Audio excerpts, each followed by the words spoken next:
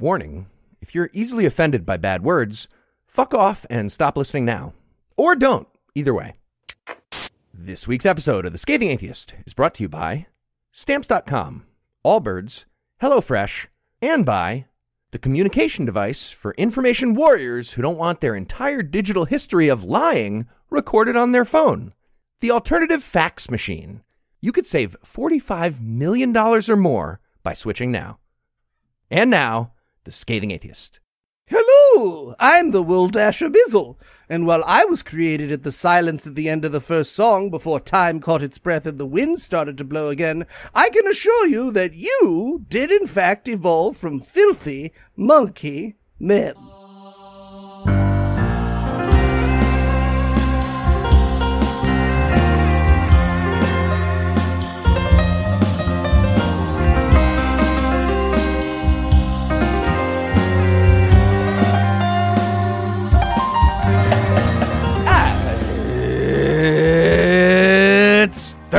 It's August 11th. and it's Ingersoll Day. Big ups to our favorite agnostic. Ooh. I'm Eli Bosnick. I'm Heath Enwright, and from New York adjacent New Jersey and Ann Arbor, Michigan, this is the Scathing Atheist. On this week's episode, Marjorie Taylor Greene brings hard solipsism to political philosophy.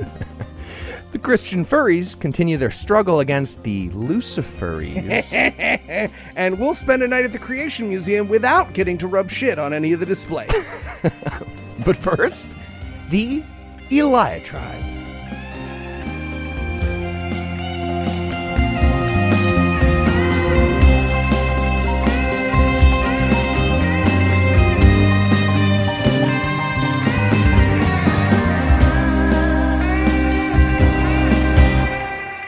One of the benefits of my job is that listeners do me the truly excellent service of curating the internet stupid and presenting it to me on a pretty regular basis. And as I was considering what to write about this week, a piece of dumb came across my desk so brilliantly idiotic that I just had to talk to you about it. See, it was a post on Christian Reddit in which the poster claimed that the word fundy is an anti-Christian slur and that they, quote, would no longer engage with anyone who used a slur, just like if they had called a black person the end quote. And as I lay there on my office floor, crippled by the sheer dumb fuckery of what I had just heard, I knew what I wanted to talk to you about today. See, here's the thing about slurs. When you say that something is a slur, the word that comes to someone's mind is the N word. I mean, yes, it's not the only slur, but it's the slur of such historical significance and contention that it's what you think of when someone says the word. When a black person hears that word, the unimaginable weight and history of racism falls directly on their ears in a way that white people literally can't conceptualize. And that is the problem. You see, because white people literally can't relate to a word representing hundreds of years of their slavery, or a police state designed to murder them, or racism against them that pervades society even today, when we hear a word as a slur, we think a slur means a word that hurts my feelings. More importantly, slurs represent something very different to white people, in that it is almost exclusively a form of social power we don't have. You know, we've all heard the various Uncle Franks in our lives wondering aloud why they can't say the N word, but these rappers can. And that's asinine, but it's also indicative of one of whiteness's most dangerous aspects. That there's literally no form of power, no matter how minuscule, will tolerate not having. And when you combine this misunderstanding of what a slur is with a desire for the perceived power they bring you, you get white Christians making up slurs like fundy. Now, maybe all this is old news to you, right? Christians have been finding shit to be offended and oppressed by since they were not being fed to lions in the Colosseum, but I know my audience, and you're empathetic people. Many of you, like me, had a lot of growing up to do over the years, and when someone tells you something's a slur, you're inclined to listen. Maybe you, like me, have been wrong about that kind of thing before. And After all, what could the harm be of being aware of someone else's feelings? Isn't it better to err on the side of caution than dismiss someone's hurt? Maybe. But maybe we shouldn't let Christians and anyone else who steps up to the plate with a made up slur diminish the meaning and power of those words. Maybe a slur isn't something a person should be able to claim as a Hail Mary in an internet fight. Maybe a slur is a powerful earmark of history and pain that you and I should count our lucky stars we can't relate to rather than coming up with our own real quick to gain back ground in the pain Olympics that I gotta admit, only white people seem to sign up for. And maybe if Christians like that poster on Reddit had to grapple with what it means when the things that hurt your feelings are just that, they might understand what I think is one of the hardest bits of social justice to get your head around. That social justice is not about personal discomfort or pain. That personal misfortune, no matter how bad, is not and cannot be the same as systematic inequality and should not be treated as such just because you'd like to be taken seriously. Look, there are times and places throughout history when it has been hard and even deadly to be a Christian. Nobody's denying that. There have been Christian slaves and Christian genocides, and the pain of those people is real and deserves empathy. But social justice, despite the fever nightmares of Ted Cruz, is not about the redistribution of power, and thus is not a breadline for white people to take their place in whenever they feel entitled to it. And this knowledge, this exclusion, it's uncomfortable. It feels bad. It stirs cognitive dissonance. Believe me, someone will write to me about this diatribe to tell me that I couldn't possibly understand what it was like to be a white guy the time they got the smallest ice cream cone at the water park. But it's a discomfort I think it's important white people learn to live with. Because if we do, maybe we'd be a little more eager to solve the inequalities others face rather than focusing on how our own compare. They're talking about your Jesus. We interrupt this broadcast to bring you a special news bulletin. Joining me for headlines tonight is the smart, funny, and talented to my tall Eli Bosnick. Eli, you ready to, I don't know, toss me another adjective if you, if you got a second? Mm, needy? All right, we're going to take a quick break for just not crying. Nobody's going to be crying. We're just going to take a regular quick break for word from our sponsor, Stamps.com. Hi, I'm Eli Bosnick. and I'm Heath Enwright. You might be wondering just how we managed to convince our good buddy Noah Lugeons to take a vacation this week. After all, you say, weren't his last three vacations him writing a book, having all his teeth removed, and having COVID? And to that we say, yes, yes, they were. And that's why last week, after we lulled him to sleep with eight Thorazine that we ground up in a Hot Pocket, we took apart his computer and microphones and mailed each piece along the route of his vacation this week. Wow, Heath, that must have cost us a pretty penny. Not at all, actually, because we used stamps.com. What's stamps.com? Great question. Stamps.com gives you access to all the post office and UPS shipping services you need right from your computer and get discounts you can't find anywhere else, like up to 30% off USPS rates and 86% off UPS. So distributing the pieces of Noah's workstation were easier than ever. All you need is your regular computer and printer. No special supplies or equipment. Plus, stamps.com seamlessly works with Shopify, Amazon, Etsy, eBay, and more. You're up and running in minutes, printing official postage for any letter, any package, anywhere you want to send it. You can even order shipping supplies through stamps.com, including free priority mail envelopes and boxes. So don't mail and ship the hard way. Sign up with stamps.com today. Sign up with promo code SCATHING for a special offer that includes a four week trial, plus free postage and a digital scale. No long term commitments or contracts. Just go to stamps.com, click the microphone at the top of the page, and enter the code SCATHING. All right, Heath, but isn't Noah going to be mad at us when he gets back? He is. He is. That's why I'm going on vacation the week after. Smart. Can I come? No. Beans. And we're back.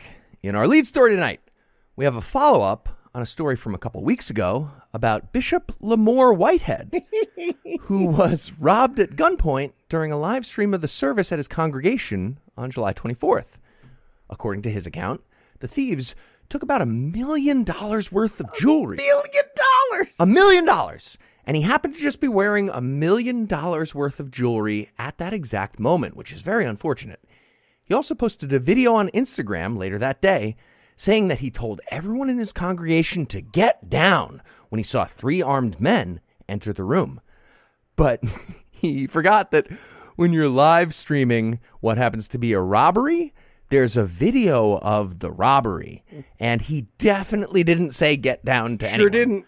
Well, that very obvious lie that he got caught in, combined with reporters later digging up his very long history of criminal lying that he's been convicted for, and of course, the video of the robbery looking like Whitehead was somehow existing about 10 seconds into the future, all that stuff has led to speculation that Whitehead knew the robbers were coming. Okay, to be fair, in the script they wrote together, he does say get down to everybody. he just forgot his lines and all the excitement. So yeah, I can see where the mistake is.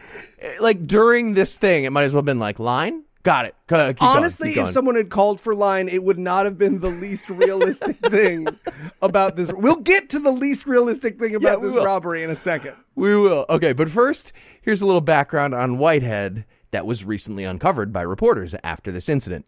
Starting in 2005, he ran a series of identity theft scams and stole about $2 million. That eventually led to a conviction and five years in prison. While he was in prison, he got successfully sued by the victim of a $200,000 loan scam that he pulled off during his time as a mortgage broker. He also had multiple judgments against him in lawsuits by car companies and home builders for unpaid debts and bad checks. And during the incarceration, he also just happened to find God and Jesus. And God told him to start a prosperity gospel church, which it turns out is basically a tax exempt meeting place for fraud victims. that includes one of his parishioners who was recovering from surgery and needed help getting a loan to buy a house. This was in 2020. Whitehead offered to help, and she sent him her entire life savings of $90,000. yeah, well, How'd she did not out? get a loan, and she can't get the money back now.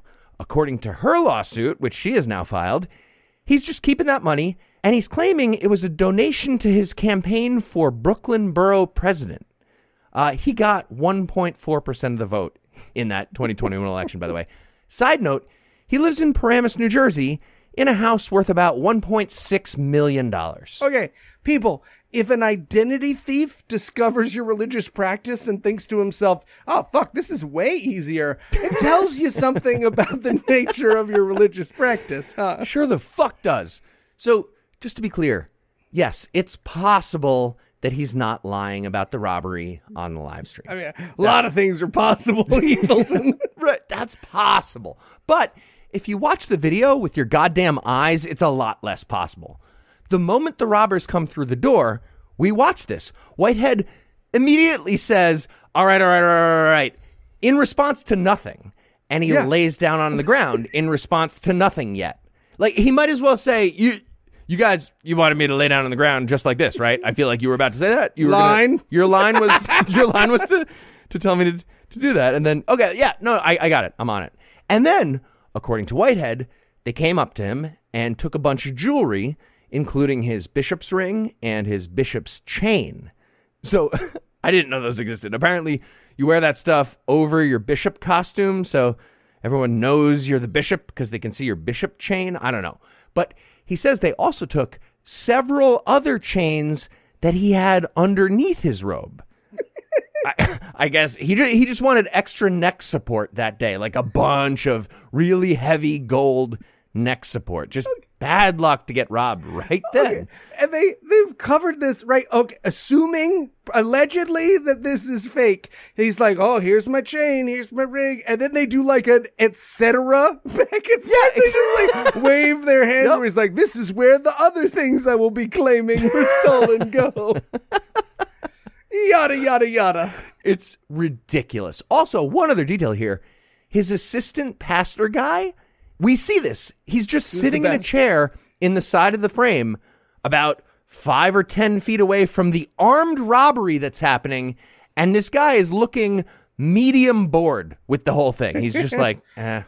Oh, here's a new robbery. Well, you know what it is? He listens to this show and he knows that the stunt could have been hawking a loogie on his face or rubbing poop on his hands. So he's just grateful. he's grateful for the church he's in. Okay, just one other thing. When asked by a reporter if the jewelry was insured, Whitehead refused to answer and he said, That's a legal question. HIPAA violation. Which, that's a crazy response. The possible answers are yes or no, right? Or or maybe even I don't know would make some sense. But but objection, hearsay, Latin word legal, that's absurd. Overruled. and it turns out the actual answer to was the jewelry insured is yes.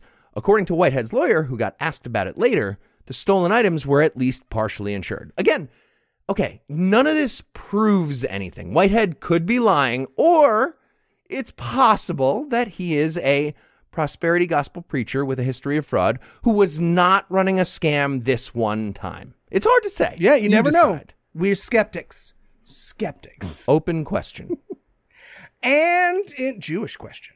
And in Minority Report news, GOP Congresswoman Marjorie Taylor Greene didn't exactly quote Adolf Hitler last week. not quite exactly. She didn't. She said something so incredibly similar it could be considered a paraphrase.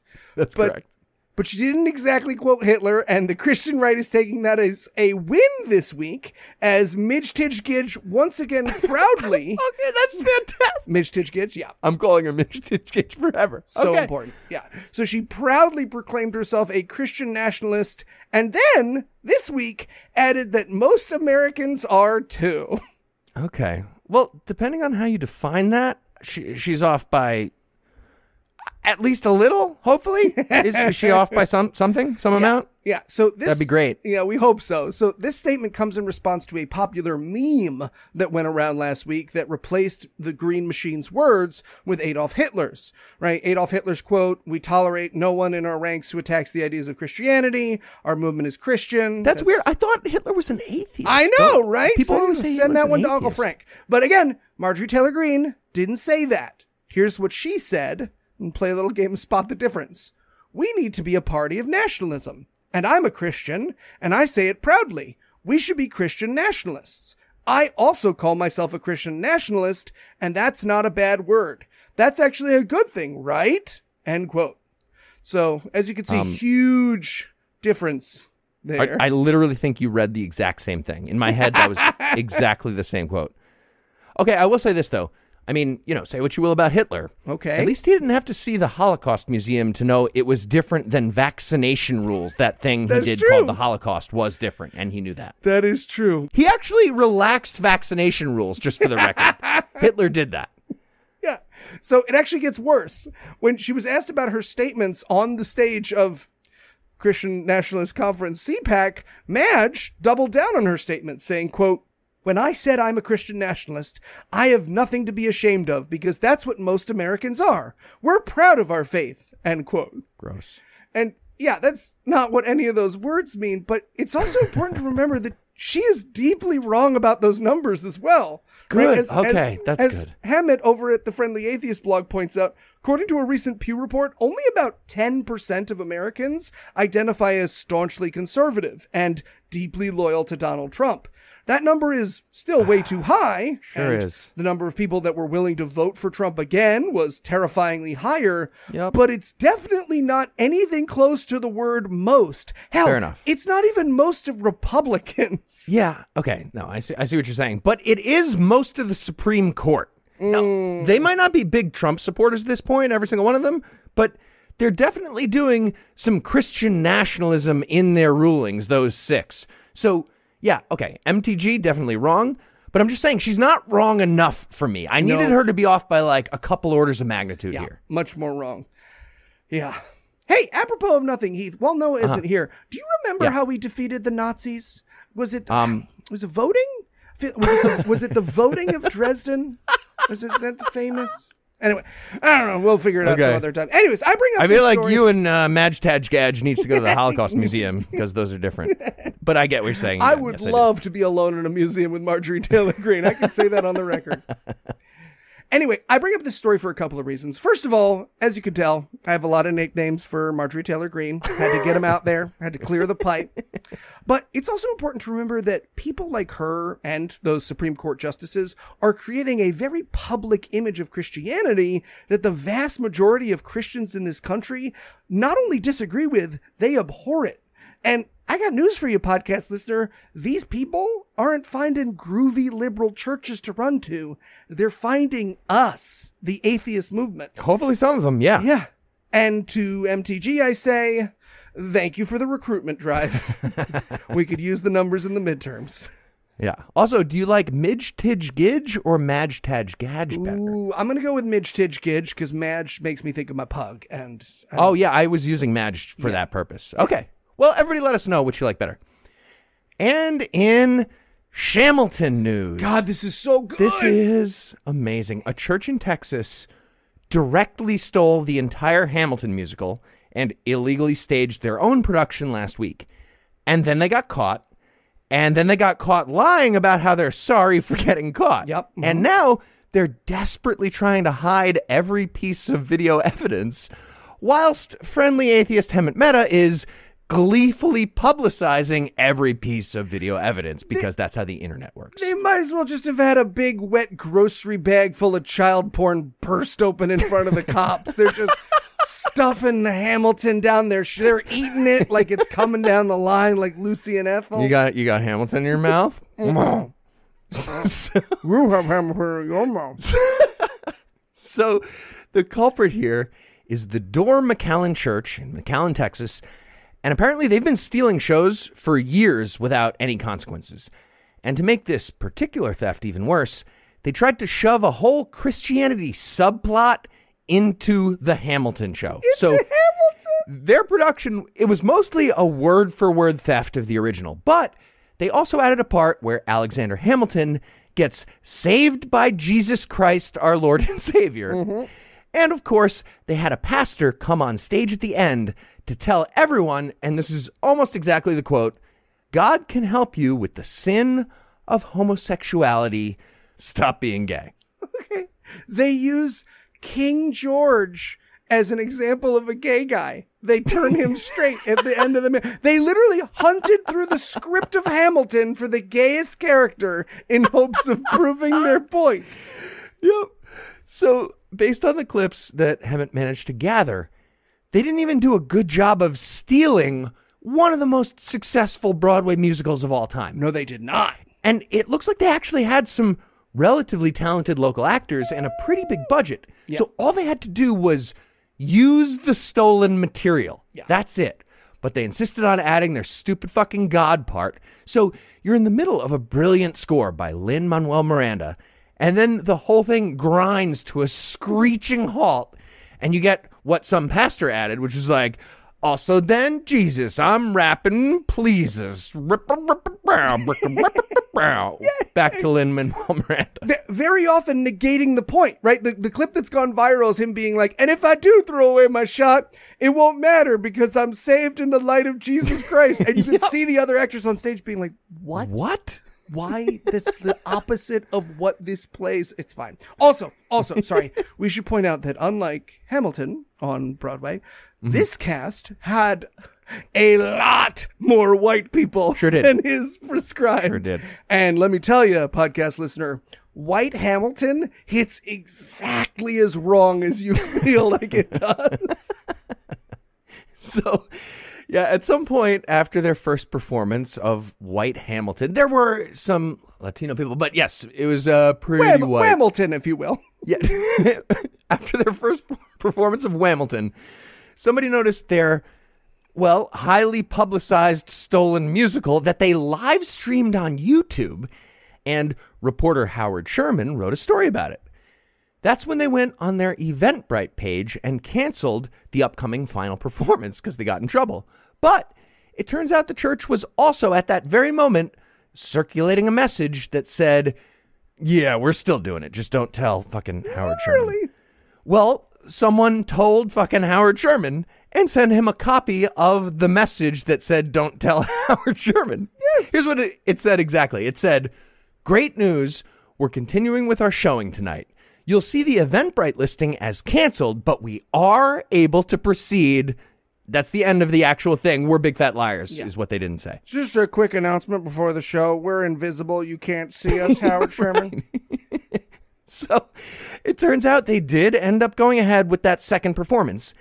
And then the next day, their head pastor claimed it was all totally legit because they got permission from, quote, the Hamilton team. no, they didn't. the. Hamiltons spoke to us.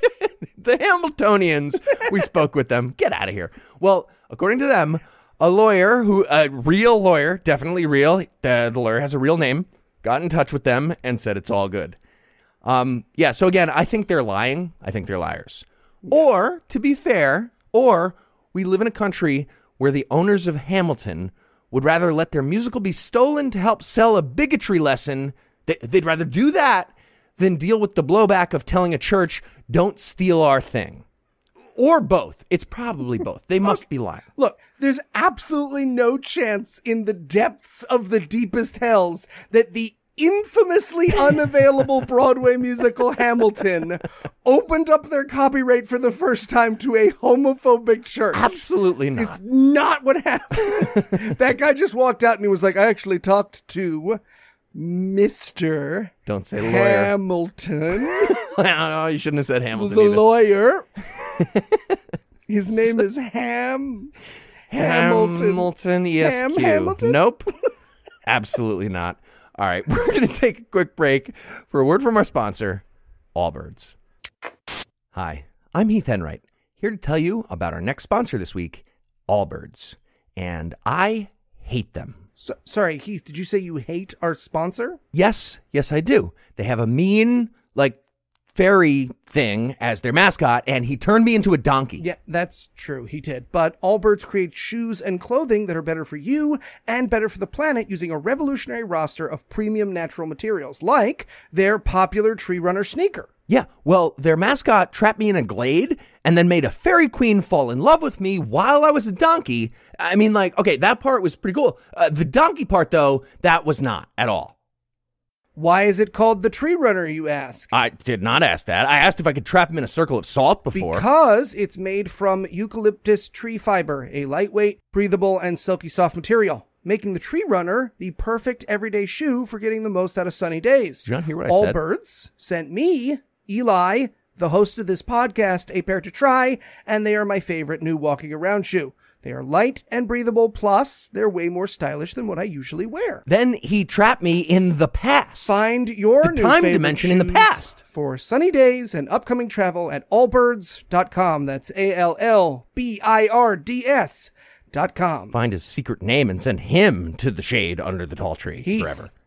I mean, I mean, buy the Allbirds shoes. The shoes, the shoes, are, they are actually really nice. They're, I ni- like they're the nice shoes. Yeah, no, it's true. The shoes are nice, super comfy. And we're back. Uh, speaking of which, by the way, during that ad break, we did get permission to air Hamilton on the rest of this podcast. Yeah, spoke to Mr. Ham Hamilton himself. Turns out he's just he's just giving it away this week. Um, give him a ring. We also own the Beatles. yep, the Beatles. And in Beaver Damnation news, we have a story about evangelical Christian furries. Hmm. Yeah, kind of exciting. Just in case anyone's not familiar, the term furry means a person who's part of a subculture that's interested in anthropomorphic animals and often involves cosplay in costume as a furry animal, also known as a fursona. When you dress up, you're in your fursona. Sometimes, but not always, that includes furry themed sexual activity, which is often called boinking. Also worth noting for context, furry fandom happens to be a group that's very accepting of the LGBTQ community. Well, the Christian Furry Fellowship, or CFF, Get the fuck out is a thing that exists. Yes, they are. They're a subgroup of furry fandom consisting of furries who also believe a genocidal ghost created the universe and that ghost hates gay people. And the CFF would like everyone to know that they're being unfairly persecuted for their faith. And I feel really bad for them. To be clear, they think Jesus wants people to dress up as foxes and fuck each other within the confines of straight marriage only. That's that is ex- that must run through their head. Yes, correct. so we learned about the plight of the Christian furry in a recent article from the Religion News Service. Several CFF leaders spoke about their very important problem that we should take very seriously. they have to hide their personas from their church people and they have to hide their bigot faith from their furry people at the same time. Oh. All they're trying to do is infiltrate a very loving community and explain why a bunch of people in that community are going to burn in hell for all eternity. And it's really hard for them as Christians. According to one CFF organizer who has a red fox persona, quote, my furry friendships are a blessing. And for that reason, I'm sad to see so much grief within the fandom that could be helped by the knowledge of the capitalized L Lord. End quote. Oh, you got cum all over your brand new fursuit, huh? Well, brother, if I may offer a solution, I'd love to tell you about a man. Get the fuck out of here. Here's another example of a Christian furry being persecuted. It's so sad. He goes by the persona Hund the Hound. Get the fuck out of here. and he started a YouTube channel to spread the gospel within the furry community. His first ever video was called Hund the Hound Meets Jesus Christ, and it shows Hund the Hound fainting at his computer and having a vision of the Son of God, who tells him about living a biblical lifestyle and saves him. In one of his first responses to that video, in the comment section, someone wrote, What the fuck did I just watch? What the fuck did I just watch? and Hund replied, My new channel introduction. And I guess that's not fair, uh, you know, because Hund the Hound is being persecuted. The evangelical Christian blue dog is being persecuted, and it's not fair. Oh, if he thinks that's bad, just wait till he makes one long enough to be featured on god awful movies, people. I can't wait. Come on, Hund. We just need 30 minutes. We could do 30 we can do 23, but we'd prefer 30 We minutes. could introduce you to a guy named Matt Powell, perhaps. Oh, he does we do a series of. Hund the Hounds. Maybe you team up. he's got a lot of videos, Heath, and We've Noah is on ideas here. vacation for a while.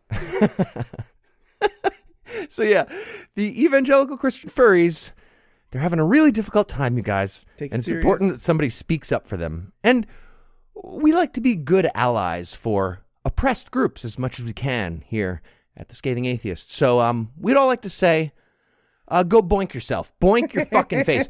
You're not oppressed. You're fucking fine. You know what solves everything here? Stop being Christian. Mm-hmm. That and that could go at the end of every single headline we do. That solves everything. There you go. I'm sorry, I'm looking through the titles on these fucking. He has a baby. Oh God! He, one of his What? videos is called "Baby Tries on a Fursuit Head." Wait, hold on, hold on. The Sexy. person or the persona Hund the Hound has a baby? The s- persona, hunt, well, the person and the both, Both. both. All right. Well, don't we just like it. started a new podcast, everybody. It's going to be fun. It's called "Get the Fuck Out of Here." It's called Lucifurries. Oh, so good. All right. And finally tonight, in truly madly deeply news. God, this is uh this is a hard one. This is this is Oh. I- this is yeah. tough for us. Um, as you may already know, child preaching Wunderkind and former employee of the month here at Puzzle in a Thunderstorm LLC, Matt Powell was sadly devoured by his own asshole this week, and in a last desperate attempt at relevance that I can't help but blame myself for, spewed a bunch of homophobic, transphobic, genocidal bullshit on his YouTube channel. Very sad, very disappointed. Matt, you were the golden boy. You were our golden boy. You flew too close to the sun, buddy. And what did we always say? What did we say? We always said don't fly too close to the Don't sun and then say homophobic, transphobic, genocidal bullshit and get devoured by your own ass. We said don't do that. Tragic. It's tragic. Yeah. So uh, let me explain for those of you who don't know. Uh, Matt Powell is a teen preaching sensation who first came across our desk when he violated our copyright by putting out a video that was just us making fun of him for like a super, super duper long time. Just a long, a long, long clip of us roasting him. Like an hour. Anyways, luckily, we here at Puzzle in a Thunderstorm are kind and benevolent. So instead of taking legal action over that copyright violation, we adopted Matt Powell as our own, promising him all the red vines he could eat and a race car bed. a race car bed, Matt. We were gonna get you a race car bed. We did. We'd all go to the mall together. Mm-hmm. You know, we'd get a little zany in the photo booth, right? Right, but then serious. But then zany again in the photo booth. I had a whole day planned. He did. He did, an man. asshole. He did. You ruined it. But then you had a chance. Exactly. But then tragedy struck.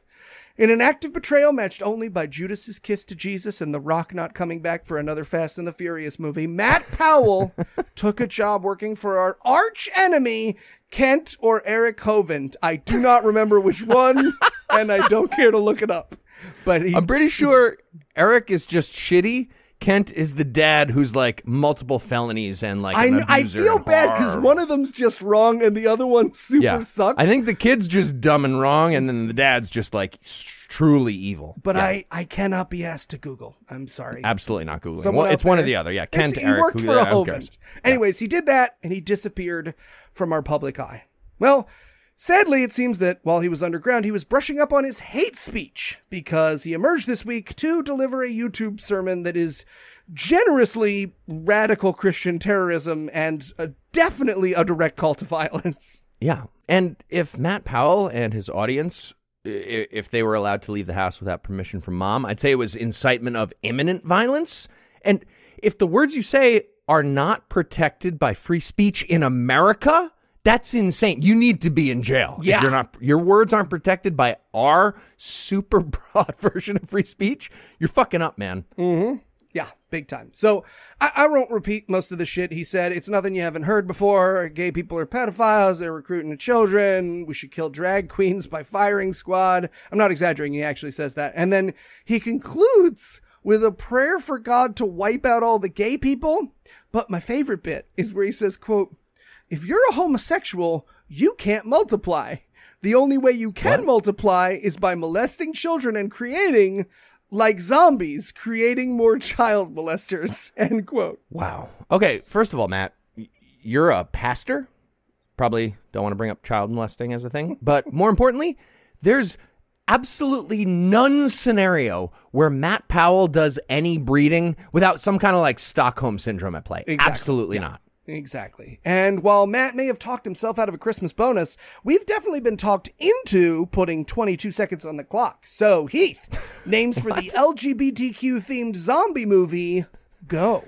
Oh, we're doing that pun. Puns aren't funny, man. Come on. All right. Whatever. You go first. You, you Uh, first. all right, I'll take the easy one 28 gays later. Okay. uh, why's it got to be Black Friday? World War LGBT? So it's Black Friday is also a zombie. It's not very famous. God damn it. Uh, okay. Um, log cabin Republicans. Sure, sure. Uh, train to Bussy on What? Busan. Train to Busan. B- bussy? Bussy. I'll explain later. All right. Well, now I'm gonna have to have Eli explain what a, a bussy is off the air. You got pictures, maybe? I do have pictures. Great. Okay. Well, Eli, thanks as always. Looking forward to it. Jumanji. And when we come back, we have some very important work from the oeuvre of cinematic auteur Eric Hovind. But first, a quick word from our sponsor, HelloFresh. I gotta say, Heath, your idea for taking a vacation ourselves for this last ad was pretty sweet. This is an adorable little beach town we're in for the purpose of this sketch. Right? So, uh, what do you want to do for dinner? Oh, uh, yeah, let me see what's around. Um, checking my phone here. Oh, uh, no bars. Oh. All right. Well, I thought I saw a place called Tony's Crab Shack back in town. You want to go there? Ah, I checked there. It turns out that's just a gas station run by a crabby guy named Tony. Oh. Huh. All right. Well, why don't we try HelloFresh? America's number one meal kit? Impossible, say I. Actually, HelloFresh is a great way to eat on a budget, even on vacation. You just update your delivery address and enjoy HelloFresh at your vacation destination with just a click. Plans are flexible, so they work with your changing schedule. So you're telling me I could choose from more than 55 weekly options and take the stress out of meal planning and prepping while I travel? You sure can. From family friendly to fit and wholesome, and even veggie, HelloFresh has tasty and nutritious meals, sure to please everyone. I don't know, Heath. I'm on vacation. What if I want to get fancy? Well, then you should try Hello Custom.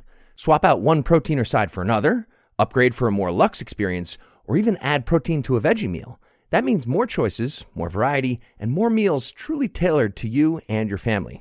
I was a HelloFresh customer even before the sponsorship, and I still am. I love how they have gourmet options as well as super simple 20 minute meals that I personally enjoy and I endorse. All right, Heath. I'm sold on making my summer extra delicious. Where do I sign up? Just go to HelloFresh.com slash scathing16 and use the code scathing16 for 16 free meals across seven boxes and three free gifts. So I go to HelloFresh.com slash scathing16 and I can use code scathing16 for 16 free meals across seven boxes and three free gifts? That is correct.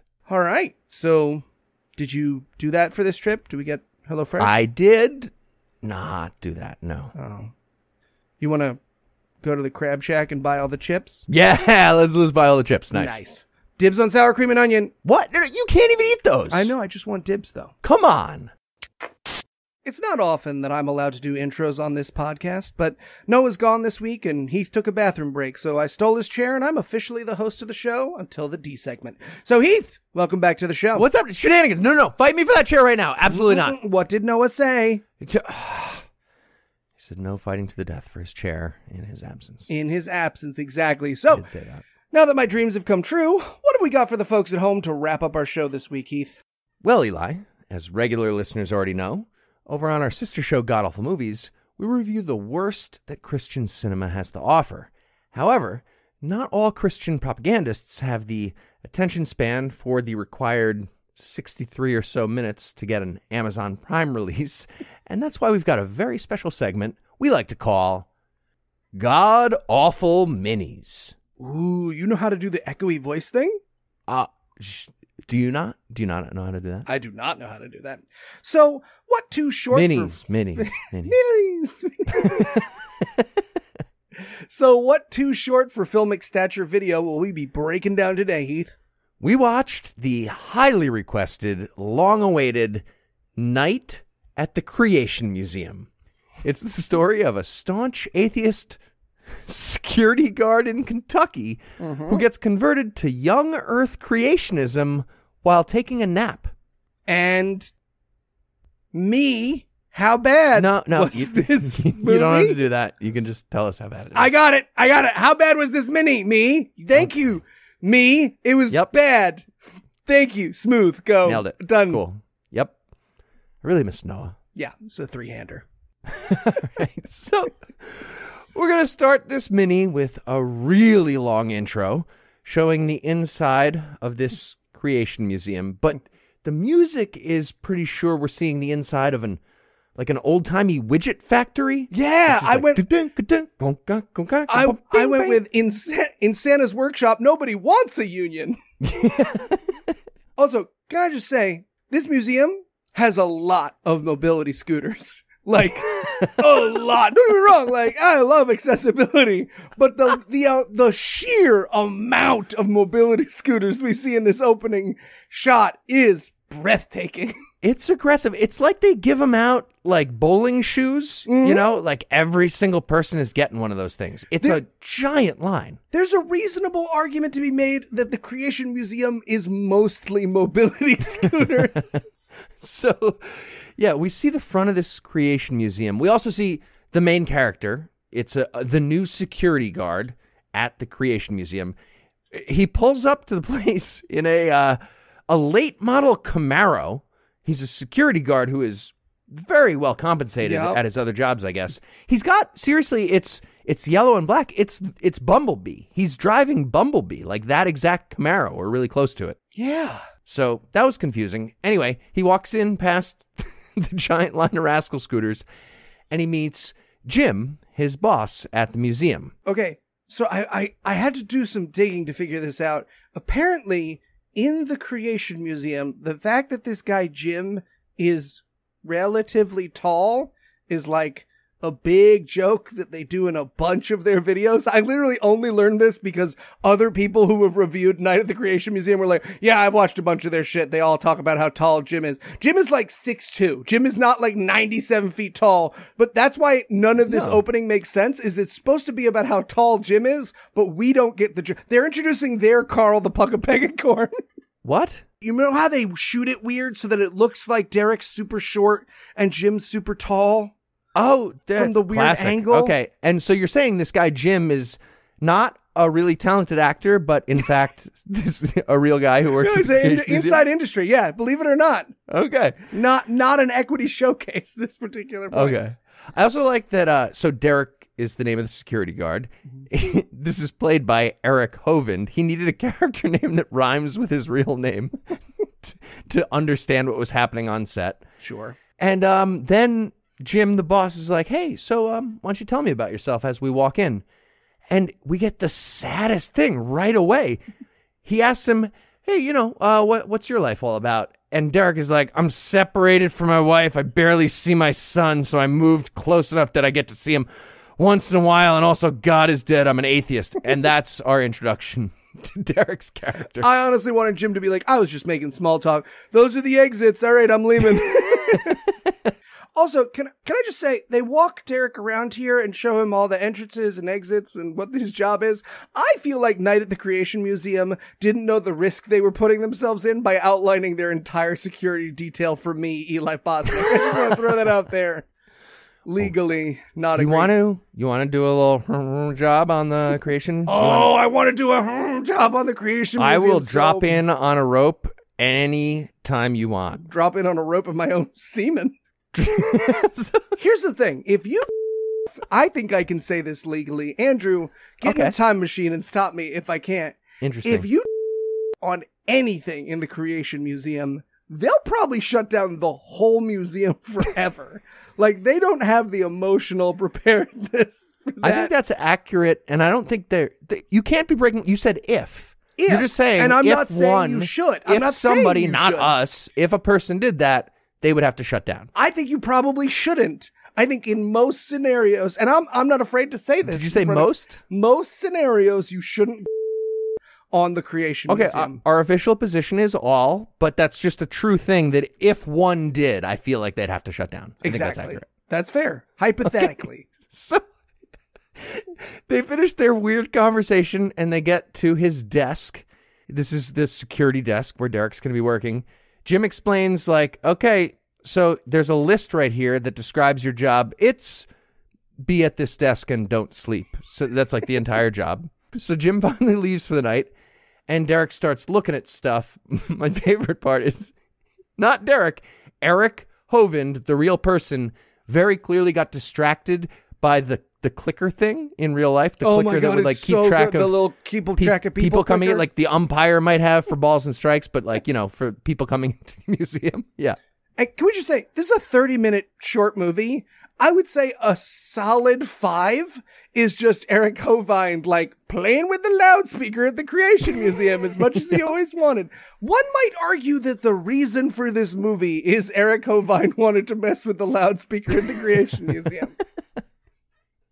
Okay, well, they probably should have just kept doing that because from there, he walks through the Creation Museum and we see some of the stuff on the goddamn walls of this place. Here's a few of the things that we see just in one little clip. All the sentences on the wall of the Creation Museum are a great way to get me to block you on Twitter. Yeah. Okay. Well, here's four examples that I actually wrote down that I saw in one hallway, right next to each other. Yeah. It said, Are humans and apes related? Stupid question. But if you ask me that, yep, you have to go away. Yeah. Was there a global flood? Also wow. stupid question. Did dinosaurs and humans coexist? The stupidest question. No, it's not. No, it's not. The very next thing on the wall, literally exactly these words, are human races equal? Question mark. Yikes. okay, ballpark, Heathleton, look into your heart. How many people are disappointed by the answer at the Creation Museum? Oh, knowing their audience, some, right? Right. Yeah, we'll get to it. The Creation Museum will try to explain why, like, they have an answer to that that's not racist. But yeah, definitely some people are like, oh, I was expecting like a nice supremacist answer to that, which they don't get. No. It's a really bad answer still. We'll get there. Yeah. We also passed something where this is their thing. This is Ken Ham's thing. There's something called observational science. Science is what that's called. And then his version of science called historical science, which is different because it's older. So you can't have the same science rules now when you're talking about old stuff. So he's not wrong when he says the entire universe is 6,000 years old. Yeah. If if you're wondering where you've heard the term historical science before, it was um as Bill Nye the Science Guy was pile driving Ken Ham into the floor of that creation auditorium. Oh yeah, there's a great the very next video when I watched this was Bill Nye going through Right. the art park with Ken Ham. it was kind of fun. He shouldn't have debated him though. That was dumb. No, it was a bad idea. Okay, so from there, from the are all races equal and can we do science differently now because the rules are different? What's your definition of science? What do, you, what do you mean science? yeah. After that little part, Eric, the security guard, sees Adam and Eve, and he's just like two naked people, huh? So he's he's naming the stuff he sees out loud to himself as he walks through the museum, and he passes some more naked people, and he's like more naked people, and that was Adam and Eve at like a- water park in that that has a sex grotto, like an adult themed water park. I guess is that part of Eden in the That's Bible? that's certainly what he thinks it is. He's like, oh, okay, so it's like a kink museum. Ah, I thought this place was lame. Nice, they got a they got a fuck tub. I got to check that out later. Okay, kind of piqued my interest. I got to be honest. Then we get to what we were talking about before. He comes back to the sign that says, "Are all the human races equal?" And he mm-hmm. stops, and we watch him be like, "Wait, are are they equal?" So here's the explanation from the Creation Museum, as far as I understand it. They're saying that, like, in evolution theory, different races evolved, but in creationism theory, we're all white, you're a bigot.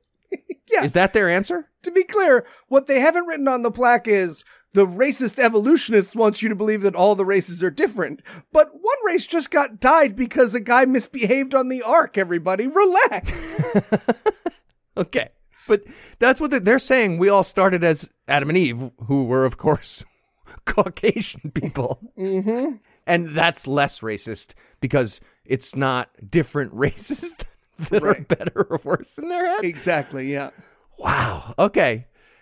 So he walks past that finally. He gets back to his desk and he plays with the PA system some more. Yep, we get some more bits. And okay, I I was never more angry during this stupid fucking movie than right now. I, m- even more so than just a moment ago when they were like maybe ranking races unironically.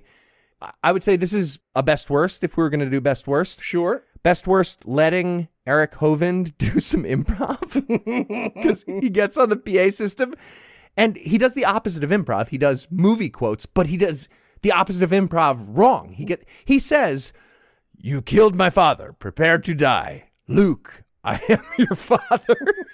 so he conflated the Princess Bride and Empire Strikes Back, and Yes. he got Empire wrong. Mm-hmm. Yeah, I'm I'm guessing that either he hasn't seen those movies, right, because he's a crazy Christian and hasn't been allowed to see anything mainstream, or he thinks those lines are from the same movie. I was I was really mad. I stopped it here and I was as angry as I've been. Yes. And then he decides, "All right, I'm going to take a nap cuz you know, I'm here for the whole night, whatever, nobody's here." And he says to himself, "Napping doesn't count as sleeping." And Jim told me not to sleep. Napping doesn't count. That's crazy. That's right? That's just crazy Right, person. Okay. this- he has a head injury. This character now has like a, a grievous head injury. The backstory is filling in. So he does take a nap for a second here, and then there's a loud noise, and he wakes up from the nap. Or does he? Okay, good question. You, you want to just go ahead and spoil it? He's in a dream now. I, Yeah. you know what? I do feel comfortable spoiling Night of the Creation Museum. Yeah. Okay. For anyone holding out, I'm sorry I ruined your experience of Yeah. Eric Hovind's 30 minute YouTube video. Apologies all around. Yeah, He's in a dream now.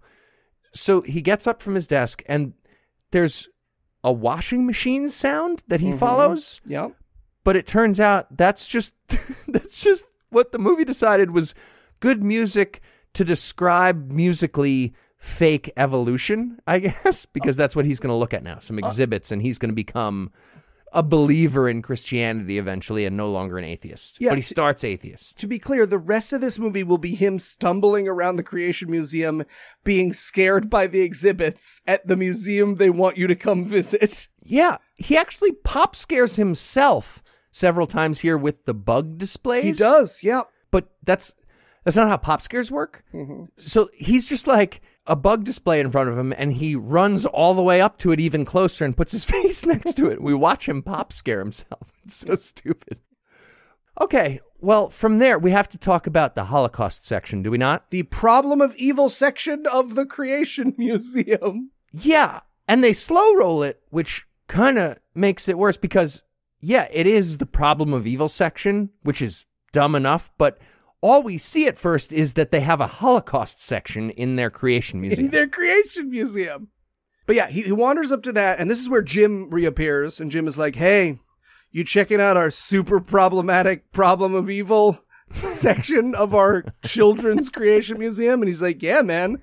Why the fuck would you Christians bring up things like 9/11 and the Holocaust?" And he's like, "Oh, um, we blame all these things on evolution." And then Eric's like, "Okay, but you also have a picture of a lady doing heroin," and he's like, "Yeah, we just kind of." Took the pictures we could find. okay, but just to be clear, evolution happened on God's watch if Jim, the Christian guy at the Creation Museum, is saying evolution is at fault. So they have a section about the intelligent design master plan that includes the Holocaust and 9 11 and heroin use. Yeah. Okay. And then literally because like they both pause for a minute, like, well, those weren't very good answers. So Jim snaps and they teleport to a different argument. Yeah, so Jim snaps and they teleport from there to the monkey display with Lucy, the, I don't know, what, what like 3.2 million year old fossil that we found in 1974 of an early hominin. The not missing link. Yeah. Right. So let's be clear what the point he's trying to make with this moment is. He's like, you know, Lucy was actually just a monkey, not uh, whatever they think she is. And she doesn't, they didn't find any foot bones with her, but they put human feet on her. As though the fucking scientists at wherever they keep Lucy were just like, I don't know. I think it fits us better if she's like half fish and half man. You know, you know what? Let's do human feet. Let's do I did Donkey Kong feet. Should oh no, our narrative it's better if we do human feet. Just plain old normal modern human feet. Obviously not not what they actually did.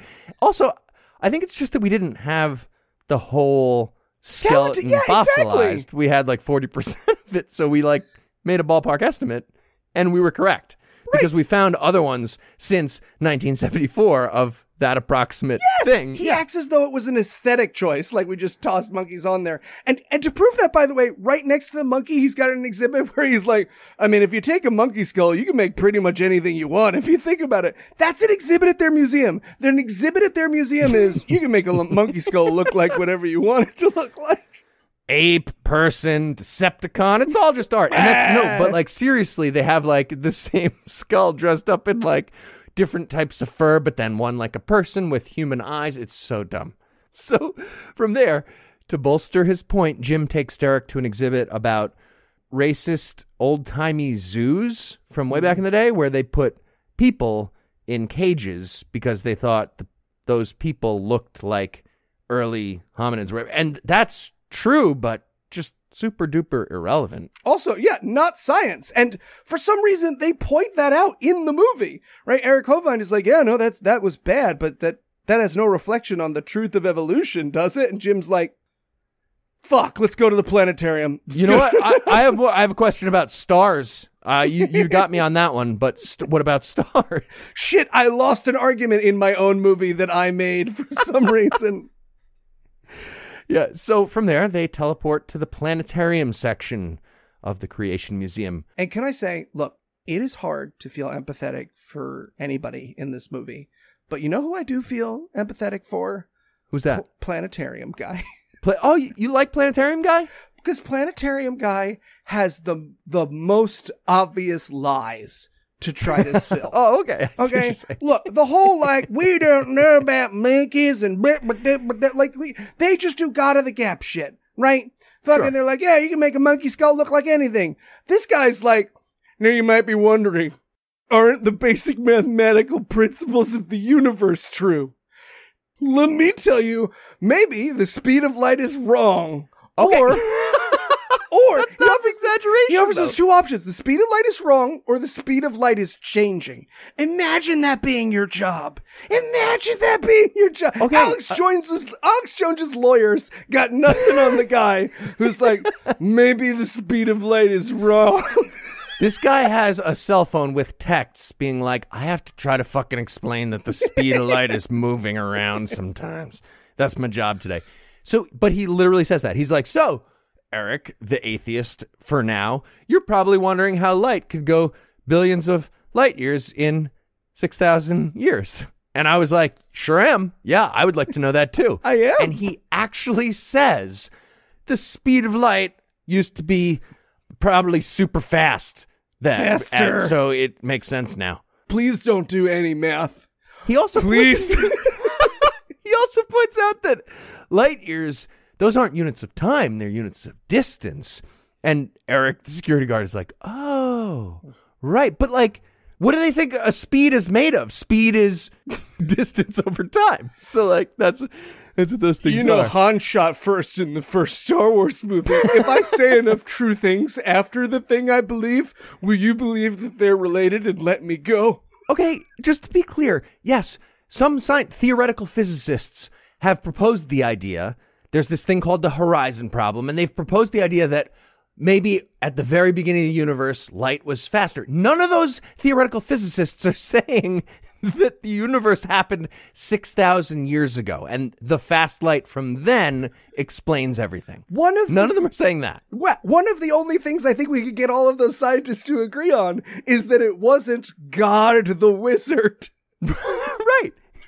Their narrative, the creationist narrative, is God w- thought to himself, "Okay, they're they're probably going to ask about stars, like six thousand years from now." Some like atheist guy, and oh fuck, I already decided on a really big size for the universe. I gotta speed this light up, and then I'll Oh, slow it back down when it gets too close to Yeah, that. it's like no, a tower defense game where you can speed up the bad guys coming. God did that with light. All right, so yeah, he wipes all the sweat off of his face from saying that the speed of light is wrong, a thing that has been mathematically proven. And then he's like, okay, well, it's a big universe, and a big universe would take a very powerful God. And I think we can all agree that my God is very powerful. I said big twice. You should shut your fucking mouth. I said big. We all agree big makes your thing impossible. Powerful. And then Eric, the atheist security guard, is like, I don't know. I don't know. That's Hey, crazy. man. Everything you just said's crazy. You don't have shoes, though. Literally, li- they distract us with the fact he's like, "Why aren't you wearing shoes?" And then he's like, "I hit you with a teddy bear," and he hits him with a teddy bear for a super Okay. long time. Again, it sounds like we're just making shit up. No, We are not. you don't have shoes. I don't like shoes. I hit you with a teddy bear. That is the exact sequence of events that happens in the movie. Mm-hmm. Yeah. Also, can I throw out there that the arguments are the speed of light is wrong. Uh, the Big Bang was as much of a miracle as creation is. My universe is Tie. big and big and thick, therefore my God is big and thick. Hit you with a teddy bear. Hit you with a teddy bear is the best argument that this man presents to us. Yeah, okay, it seemed crazy at the time, but you're right. That was a solid close to the science argument, given what happened earlier in that science argument from the creationism planetarium guy. Yeah, that's rough. Okay, I do feel bad for that guy now. You're right. He had the hardest job for sure.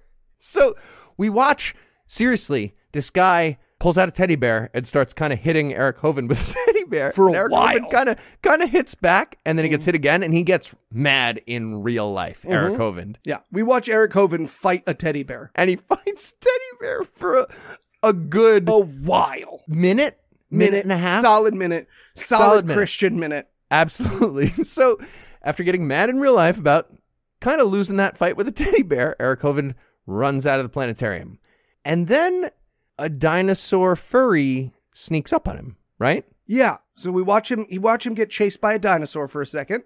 Right, because Night at the Museum. They're ripping off Right. that movie, so that's what happens. Like they're trying to do their homework last minute. Shit, getting chased by a dinosaur. That was in that movie. Fuck.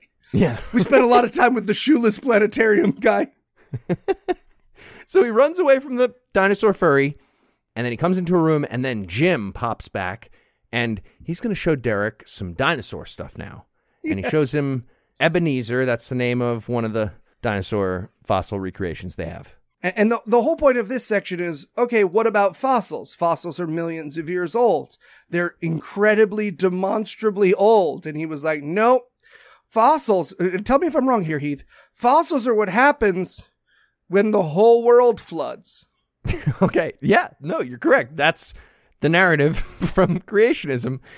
Jim, the creationist guy, is like, oh, you, think fossils are millions of years old? Describe fossils right now, or else the Bible is true. and you watch Derek, the atheist security guard, be like, fuck, that's, you're right. If I can't do that, the Bible is true. And he says, because he doesn't really know, he's like, fossils are old leaves, mud, mud and leaves. Right. And Jim's like, they're not old leaves. Christ rose from the dead. That's the Checkmate. here. Yeah, and that that's that's also how he describes the Great Flood. That's how we know the Great Flood happened. He says, "Yeah, so well, you said fossils are from mud. You actually are kind of right about that. Mud. Think about it. Mud's made of what? Water, and fossils are where? Everywhere. No, they're not. So, Great Flood. And Yeah. the world is one big fossil, therefore. Right. this is also the first time he calls the Bible the history book of the universe. Also, I feel like we have mud now w- without a great flood. I'm just saying, like mud, we can have mud with it. It's fine. So at this point, Jim is like, all right, well, we all agree that I'm clearly winning this argument just by a lot. So uh, let's go ahead to the biblical archaeology section. We'll just chalk that up as one point for me. I'm not going Right. to take two points. Now let's see how you do it at the biblical archaeology section. And I feel like this section was created to make the planetarium guy feel better because this section is made up of two known forgeries. Wait, are they? Yeah. Wait, wait, which one? I didn't even know that. The House of David pot and then the other fake rock. That he, he mentions two fake forgeries. I Googled them and the first results for both of them are like, these are known forgeries. And then the only real thing. That's he- amazing. Okay. Yes. And then the only real thing he finds is he's like, okay, so just in case anyone Googled those two, like fucking Dead Sea Scroll, like, like ju- junior varsity Dead Sea Scrolls that I just mentioned, no matter how fast I said the fucking titles, um, geologists found Gath and they found the word Goliath on a pot. Okay. Wait, wait, wait. You're saying that's a forgery? Not the pot that has the Oh. word Goliath on it. Oh, okay. Okay. Because they proved nothing with this. And I was like, oh, man, they made a forgery of something that proves nothing. That's beautiful. No, the forgeries are two like fucking creation museum. Fucking, what's that? Hobby Lobby got sold to them by an ISIS guy, like whose hands were still oh, wet with the paint thing. Oh, Right, Yeah. right. Which was like technically like a, a war crime involved in the process of getting it to Right, Hobby exactly. Lobby They're just two out of of, those Iran or Iraq. Yeah. yeah, yeah, Okay. But now, yeah, they, they show us a pot that had the word Goliath on it. And they think they dated the pot to the time of the story of David Goliath. Oh, that proves Oh no, something. no! Oh no! It's not nearly as reliable as that, Heath. No, no, no. They just found a pot from a time that had the word Goliath, and that must be a reference to the one and only Goliath of the Bible. Because what else could Why- there be? Two large people in history and or myth ever? Come on, take it serious. Okay. They didn't even have it dated to exactly the claim in the Bible of the time of that story. No, he's like, this geologist found Gath, which is a city Yeah. that is where that mentioned was supposed to have happened. Yeah. in the Bible. Pause. Two, three, four. Also, I feel like my brain inserted some science for Yes, them just your- to help them out. your brain inserted a reason for this to have anything to do with this museum. I don't know what my brain thought. They like, oh, they used radiocarbon dating all of a sudden, and they thought that was real for one minute, and then they stopped again. Yeah. So it's even worse than I thought. Amazing. Yeah. And then he, he ends up by going, and I love this so much. He goes, Yeah, every time someone disproves one of these stories, we come up with another one. Is an argument for our side. Wow. Okay, well, sold on that argument. They're they're done with that argument. That was the best they could do mm-hmm. with biblical archaeology. Jim snaps again, and they're back at the front desk. And Derek, we see him in dream state talking to Jim, but he's napping on the chair. So now this is where it's revealed the spoiler that we did earlier. It's all a dream. Yeah. And so he, he wakes himself up. There's this fucking great moment where he's like, slap yourself. And he, he slaps himself kind of half assed. And Jim's like, harder. And you see Eric Hovind be like, no. And he's like, all right, we'll just keep going. I got beat up movie by a teddy bear earlier. My face hurts. And Yeah. now we watch them tour the gift shop. Yep. They go to the gift shop. He's like, hey, you had a, a kid, right? Well, how about a 3D movie? Huh? and hey, hey, hey, does your kid like to read? And he was like, oh, he does like to read. Well, how about this book that we'll be very vague about because it's only 18 pages long, but we'll pretend is a good novel to give your kid? And that's the end of the movie. That's the end of the movie. And then we get a credit thing. It says shot in 24 hours on a cell phone, which you probably don't want I to like, believe I believe you. Night at the Creation Museum. I definitely believe you. Don't write that down though. And then we meet some guy, Patrick Marsh. God, this was so sad. This is the post credit thing. Eric Hovind as himself comes on screen and he's like, You probably don't know Patrick Marsh. And I was like, No, I don't. I don't. Okay. He's a real scientist, we learn, with 20 years experience at Universal Studios. yeah. But Patrick died. Yeah. And Eric Hovind is like, is very sad. Patrick's dying words were like and subscribe and donate at creationtoday.org Smash, slash smash that like button, Yeah. everybody. Smash it. smash it for Patrick. Yep. And that's the end of the movie. They Yeah. uh oh, they show us a how to get saved strategy guide Yeah. on their so you can website. get saved on the website, and we also have a Night at the Ark Encounter movie. Which you oh should yeah, watch. there's a sequel. Mhm. I thought okay. I thought this creation museum was the one in Ken Ham's Ark Encounter. This is a different one? no, it's a different one. Cool. Cool. Sequel, baby. Okay, well, yeah, we've got something to look forward to then. Great. so, uh, what do you think? You got an outro there, Chair Stealer? You got Yes, something uh, close us out there? I do. With that Uh-huh. to look forward to, and with one less museum to jerk off on, we're gonna call things there for the night. Heath, thanks as always. Jumanji. And when we come back, Heath will do the outro, and then the podcast will be over. That's how it goes, I think. Give me a chair back. Squinting in there. Stop it. Yeah, Stop it. squinting in there. Squinting in Stop there. it. No going limp. Squinting in there. I'm shitting. And that's all the blasphemy we've got for you tonight. But we'll be back in 10,022 minutes with more. If you can't wait that long, be on the lookout for a brand new episode of our sister show, The Skepticrat, debuting at 7 a.m. Eastern on Monday.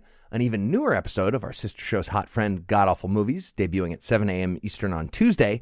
And an even newer episode of our half sister show, Citation Needed, debuting at noon Eastern on Wednesday. And before we wrap it up, big thanks to all the new donors who will get some delightful compliments next time around, possibly about their intellect or their genitals or their genital intellect, potentially.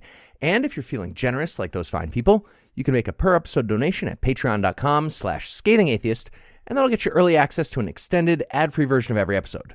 Or you can make a one-time donation by clicking on the donate button on the right side of the homepage at scathingatheist.com. Legal services for this podcast are provided by the law offices of P. Andrew Torres. Tim Robertson handles our social media, and our audio engineer is Morgan Clark, who also wrote all the music used in this episode, which was used with permission. If you have questions, comments, or death threats, you'll find all the contact info on the contact page at scathingatheist.com.